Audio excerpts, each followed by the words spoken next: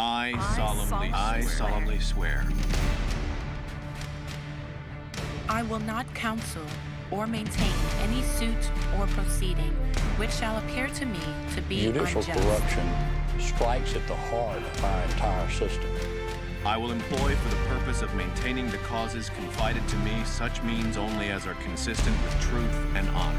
Never seek to mislead the judge. I will maintain the confidence and preserve inviolate the secrets of my client. I will advance no fact prejudicial to the honor or reputation of a party or witness. Never seek to mislead the judge or jury. I So cannot think of a worse allegation against an attorney than attempting to bribe a judge.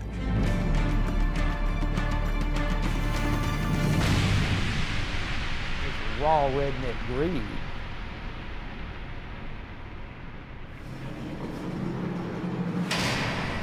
Injustice, the film, what Steve Forbes called a must see. Download your copy or order your DVD today only at injusticethefilm.com.